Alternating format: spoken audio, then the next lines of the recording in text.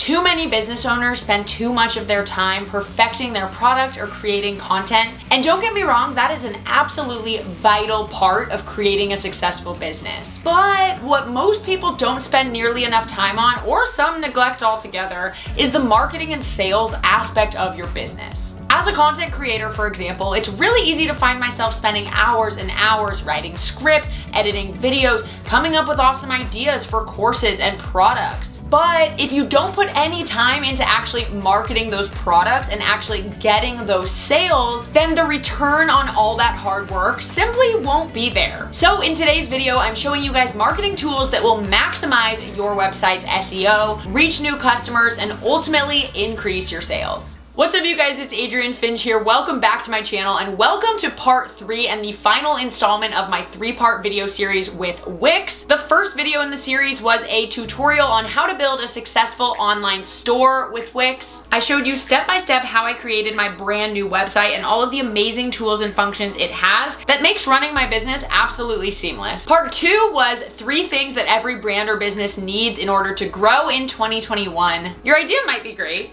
but without those three key ingredients, it just won't grow or profit much. And here we are on part three. As I mentioned, we're going through all of the marketing tools that Wix provides that'll help you increase sales on your products and offerings. And as always, if you guys want to create your own online store and haven't yet, I encourage going back and watching part one and two of my series, and I will also leave the link down below to create your own store. Thank you so much Wix for sponsoring today's video, and without further ado, let's get into it. So the first thing we wanna do is maximize SEO so that we can drive more traffic to your site after you launch. SEO stands for search engine optimization. So obviously we wanna set up all the right tags and metadata that will allow for your site to appear in more of your potential new customers customers' online searches. So how do we do this? Well, there are a couple things I'm gonna run you through right now. Number one being to use the Wix SEO Wiz tool. This is actually gonna blow your mind and I'm so grateful for it. But what is it exactly? Wix SEO Wiz is the most efficient tool as it's the fastest way to get your site into Google's results. After answering three simple questions about your site, location, and keywords, the Wiz analyzes your website and automatically issues a personalized SEO plan with simple steps to improve your ranking. So step one, I need to first set the homepage's title for search results. So they give you recommended titles, which is awesome. And I can either just copy that, which I think I'm going to, or you can follow the guidelines they give you to write your own title. So they make it super, super easy to figure out what to do. So I'm going to copy this. Now I'm going to go to the editor and basically follow these instructions. So here I'm on the editor. I'm going to click on menus and pages pages, page settings, SEO. Here's the SEO Wiz. And then right here, I'm just gonna paste what it told me to put. There we go so you can see how it will show up on Google, which is awesome. Then you always want to make sure to publish or save the change. Go back, refresh this, and there we go. It's now checked off the list. So you basically follow all of these checklist items, and then you'll be able to connect to the Google Search Console. Next, we have to add the homepage's description for search results. So again, it just tells you very easily what to do, and they also have step-by-steps, which is great. Basically, it allows you to achieve professional level SEO in a very fast time. This is by far my favorite tool that Wix has, but it's important to note that the SEO Wiz doesn't analyze your storefront specifically because it's an added business solution that Wix has. It analyzes the entirety of your website. But not to worry, there are a couple more ways that we can ensure that your storefront and your product pages SEO is maximized. So the first way to maximize your store's SEO is to optimize your product pages, titles, and descriptions, also known as meta tags. This will tell Google that these pages are part of an online store and give them the best chance of ranking in the search engine results pages, which we want. I know all of this can seem kind of daunting, but Wix has an entire page that really walks you through step by step what you should do, which I'll also link down below for your reference. But let's go ahead and do it for my products right now and I'll show you how. So in order to maximize the SEO for our products on our storefront, we're gonna navigate over to store products right here and click on products. Then you wanna click on each individual product. So obviously there's only one right now, but if you have a whole list, you wanna do this for each product. Just click on it and then scroll down over here where it says SEO settings. Now here you'll see all of your page's SEO that's already in there. So this is what it would show on Google. These are the things that you can change. So the URL slug is fine. It's a little bit long. I think I'm just gonna change this to coaching. Then for title, they recommend keeping it pretty brief. So I think I'm just going to put business coaching self-made mastery.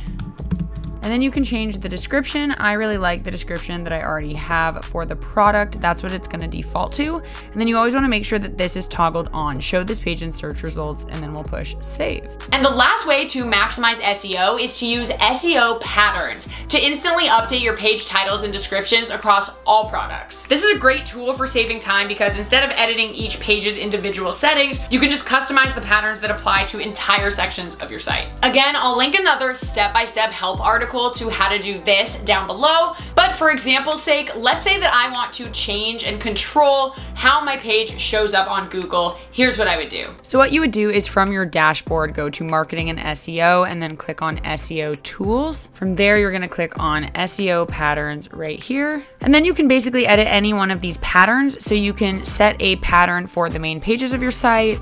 You can define the SEO settings for your store products. So as you saw before when we clicked on each individual product here, you could actually just make it so that there's a kind of customized default way that all of your products will show up on search engines. Um, so you can pretty much edit any one of these. Same with your booking services, you can do the same thing. Let's just pretend that I do want to create a pattern for my product pages. You would click edit right here. And then again, here we are, product name, site name, product description. So I actually like that. I'll just make sure to make my product names a little bit better next time. Social title would be how it shows up when people share your product to their social pages.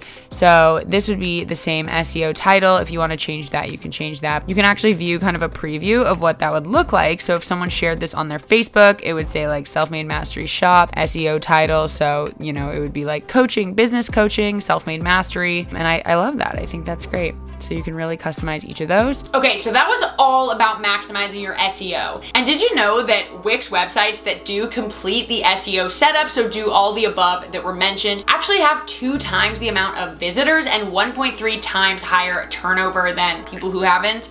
So obviously it's very important to follow those steps to maximize your SEO. But wait, there's another thing we can do to increase sales and market our products. And that is to recover abandoned carts. We don't want people abandoning their carts now, do we? With Wix, you can set up abandoned cart emails so that basically the customers who did leave things in their cart are encouraged to complete their purchase. So in order to set up automated emails like abandoned cart emails, you go to your dashboard and then find the automations tab. Then from here, you can basically create any automation. We're gonna click on email visitors to recover abandoned carts. And then from there, you can basically customize this how you want this. So the trigger would be when a customer abandons a cart, but you can obviously change this to whatever you want. You want to send email to contacts. Two hours after they abandon the cart, they will get an email to encourage them to come back to the store. Then you just click activate. And there are tons of awesome templates to choose from for others as well. You also wanna make sure that your Facebook pixel is properly connected so that you can remarket to those abandoned shoppers and shoppers who didn't complete checkout. Another fun fact for you is that Wix sites with active automations like abandoned cart emails get 2.7 times more visitors and 3.3 times higher turnover. So basically you wanna do it.